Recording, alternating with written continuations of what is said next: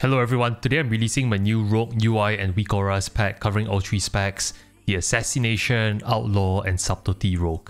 All my user interfaces are entirely free, so you can proceed to download them from my website link in the description below.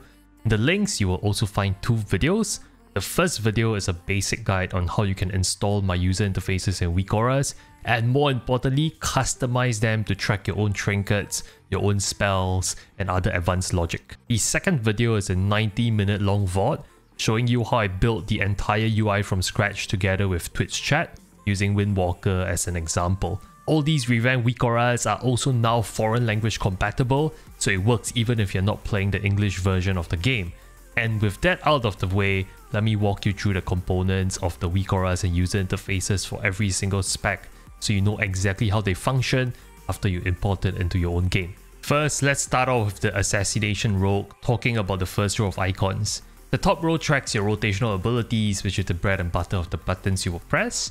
Naturally, when your abilities are on cooldown, the icons will be desaturated and grayed out. As usual, we do not track abilities that do not have a cooldown associated with them. For certain abilities, we track the duration of the debuff on the target, with a glow condition so you know when to refresh your debuff on the target. The core abilities here are Garrote and Rupture, both of which comes with a glow condition that alerts you that the debuff is running out on the target and you will need to reapply the debuff. We also track Envenom, Vendetta, Crimson Tempest, Hidden Blades, Poison Bomb, followed by your Covenant abilities which will change depending on which Covenant you chose.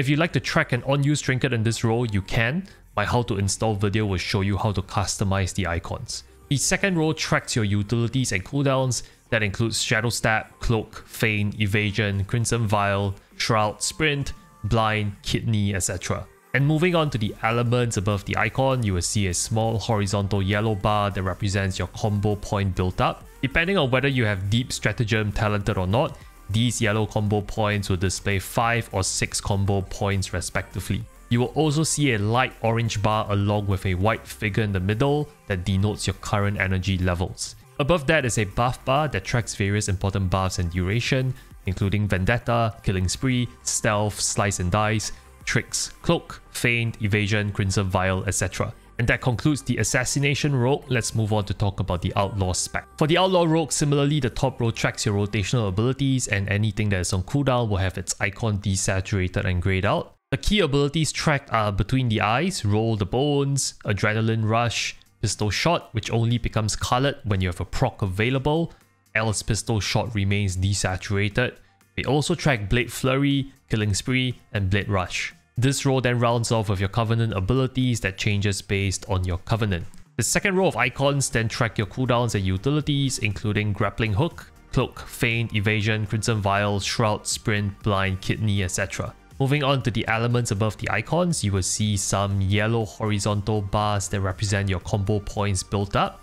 Depending on whether you have deeper stratagem talented or not, these yellow combo points will display 5 or 6 combo points respectively. You will also see a light orange bar along with a white figure in the middle that denotes your current energy levels. Above that is a buff bar that tracks all your important buffs and durations. This is especially important for an outlaw rogue since you're spending your time rolling for buffs. All the buffs specific to an Outlaw Rogue is tracked, including Skull and Crossbones, True Bearing, Grand Melee, Buried Treasure, Ruthless Precision. All these buffs come with notes that signify what they do for you, which is helpful for beginners to learn Outlaw Rogues. The buff bar also track other standard rogue buffs including Stealth, Slice and Dice, Tricks, Sprint, etc. And that sums up the Outlaw spec, let's talk about the last spec, the Subtlety Rogue. For the Subtlety Rogue, the top row similarly tracks your rotational abilities, anything on cooldown is desaturated and grayed out. For certain abilities, we track the duration of the debuff on the target with a glow condition so you know when to refresh your debuff. The key abilities tracked here include Rupture, which is a glow condition to alert you when you need to refresh the debuff as it is falling off. The role also includes Symbol of Death, Shadow Dance, Shadow Blades, Secret Technique, Shuriken Tornado, Black Powder. It then finishes off with your Covenant abilities that changes based on your Covenant. The second row of icons then track your cooldowns and utilities including Shadow Step, Cloak, Feint, Evasion, Crimson Vial, Shroud, Sprint, Blind, Kidney, etc. Moving on to the elements above the icons, you will also see small horizontal yellow bars that represent your combo point built up. Depending on whether you have deeper stratagem talented or not, These yellow combo points will display 5 or 6 combo points respectively.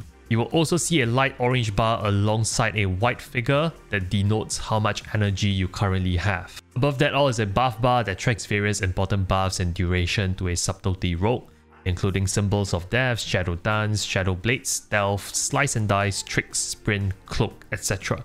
And that my friends sums up the walkthrough of my UI for all three specs of a rogue in the Shadowlands. You can find a step-by-step -step video install guide in the description below. It covers how to install the UI in 3 simple steps as well as some answers to frequently asked questions, including how to track your own abilities, trinkets, how to move the weak auras and resize them, amongst other questions. My website where you download the user interfaces also has detailed instructions on how to install them. All feedback and questions are welcomed. For feedback, definitely drop them in my Discord community and I'll update the weak auras over time to address bug fixes and errors. If you have questions about the user interface, feel free to drop by my live stream. I stream most days of the week. My Twitch handle is in the description below. Happy to answer your questions live. If this video was helpful to you, do subscribe to my channel. I publish daily World of Warcraft videos and I will also release class weak auras for all the other classes in World of Warcraft. Lastly, a big thank you to my Patreon subscribers for supporting me. You folks make it possible for me to build and maintain the user interfaces for all the classes. And a big thank you to you for supporting this video and for using the user interfaces. Take good care and I'll see you soon.